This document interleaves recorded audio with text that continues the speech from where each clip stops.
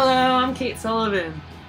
When I read about this program, I was immediately thought this is meant for me. All summer, I'd been working on research and development for a docu series about women athletes, and I was investigating the successes and failures in the battle to level the playing field.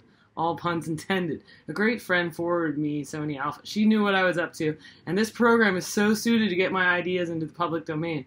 I've worked in sports broadcasting since 2004 with Major League Baseball, Major League Boys Club. I live it.